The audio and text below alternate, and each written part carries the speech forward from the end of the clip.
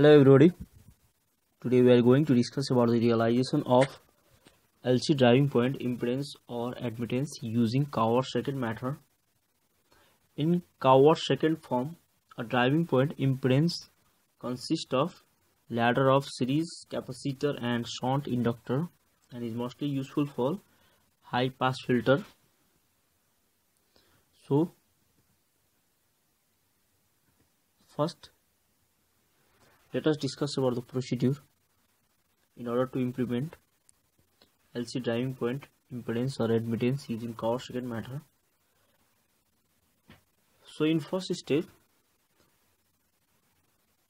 expand the bracket term,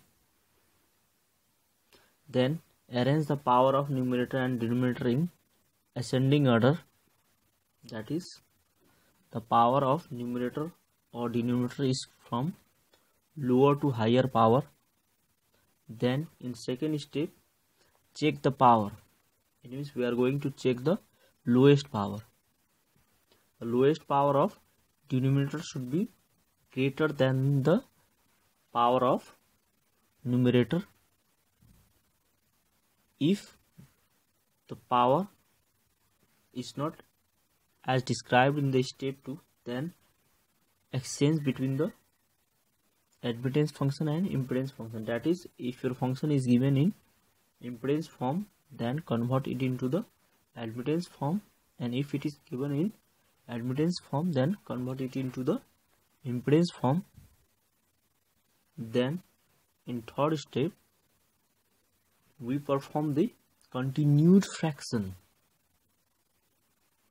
After performing the continued fraction um, then the achieved quotient is realized into the circuit component. So if you are realizing the impedance function then the sequence of quotient will be z1 y1 z2 y2 up to zn y1 and if you are realizing the admittance function the sequence of quotient will be from y1 z1 y2 z2 up to yn zn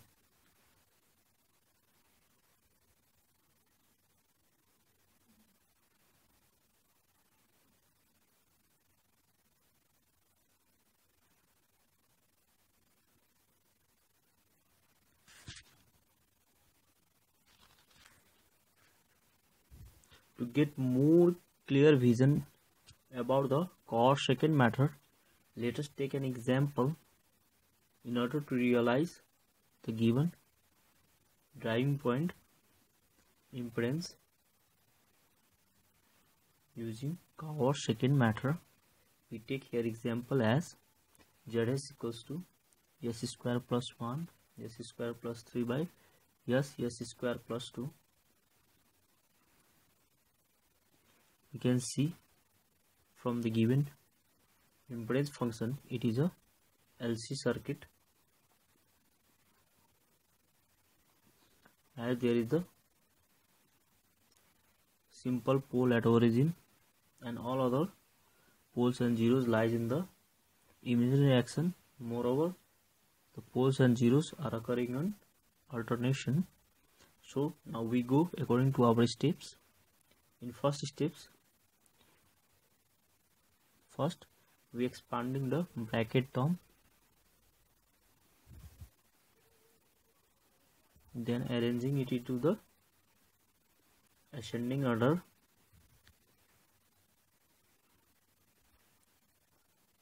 Then we check the power of the lowest term. That is the lowest power is checked according to our second step lowest power of denominator should be greater than that of the lowest power of numerator. And this state is satisfied by our given question. So we do not convert or we do not exchange in this question. So our third step is we perform the continued fraction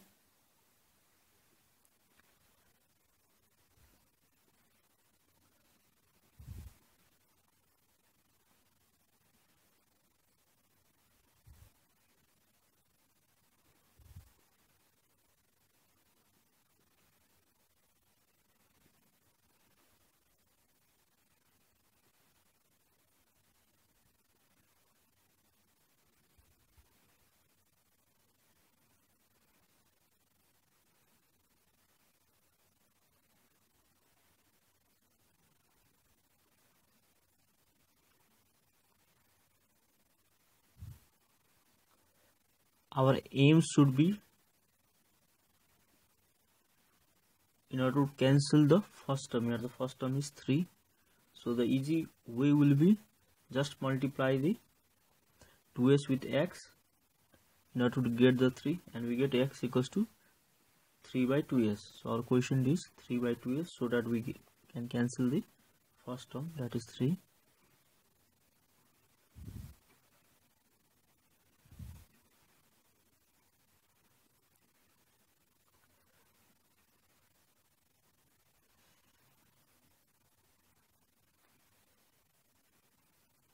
if you got experience after solving so many problems then you can directly use the quotient in order to cancel the first term.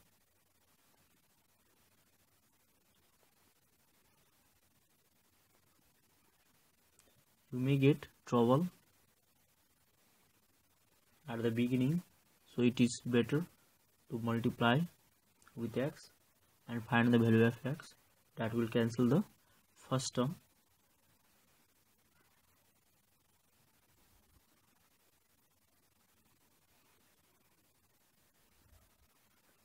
we perform the continuous fraction till our remainder is 0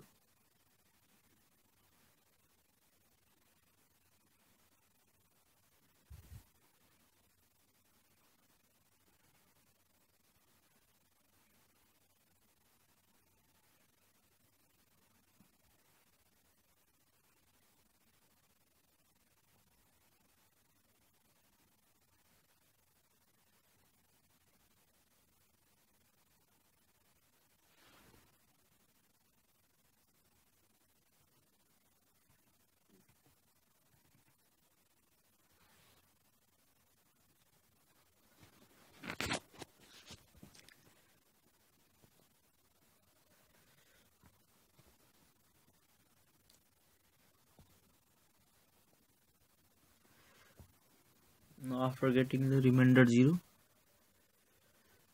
our next step will be representing the sequence.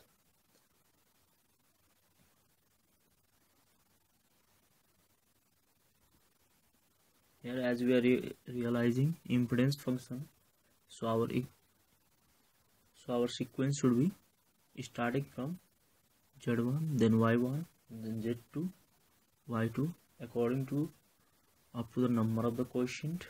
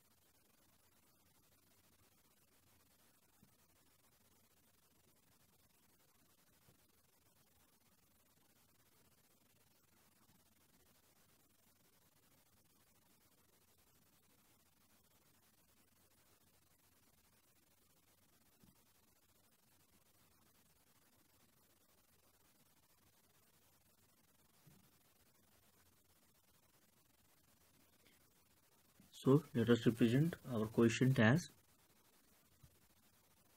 z1 the next quotient will be y1 then z2 then y2 so after placing the proper sequence now we will realize the quotient as our circuit component. Here z1 equals to 3 by 2s then it represents the capacitance. Similarly y1 equals to inductance.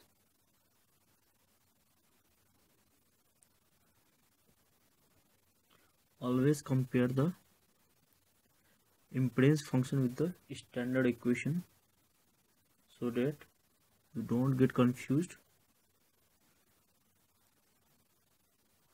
Our standard equation for impedance is z is equals to r plus 1 by cs plus ls and and for admittance function it is ys equals to 1 by r plus cs plus 1 by ls. So after comparing we get the value of capacitance inductance.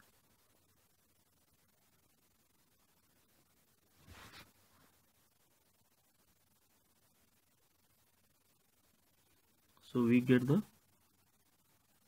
our desired circuit. Thank you for watching my video